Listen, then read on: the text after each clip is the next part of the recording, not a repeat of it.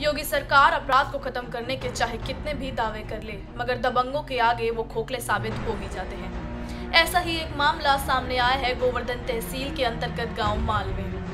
गाँव में कुछ दबंग लोगों द्वारा मार्कंडेश्वर महाराज के प्राचीन मंदिर की भूमि पर कब्जा किया जा रहा है।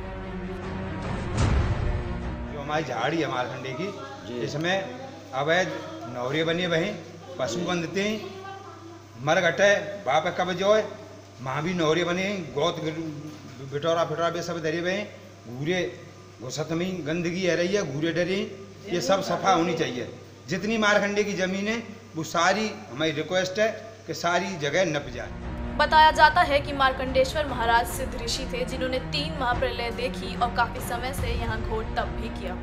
इनकी भक्ति और शक्ति को मानते हुए यहाँ हज़ारों की संख्या में लोग परिक्रमा लेने आते हैं। और बताया जाता है कि भक्त यहाँ आके जो भी मांगते हैं उनकी मनोकामना ज़रूर पूरी होती है।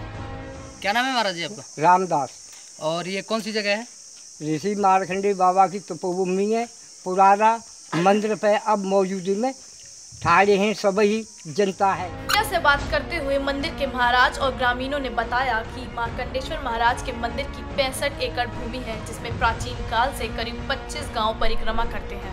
मगर कुछ दबंग लोगों की नज़र इस पर पड़ गई है और वो इस पर कब्जा कर मकान बनाने लगे हैं। जब इस संबंध में उनसे कहा जाता है तो वो लड़ने झगड़ने को तैयार हो जाते हैं। मथुरा से गजेंद्र सिंह की रिपोर्ट, न्यूज़ टाइम्स इंडिया।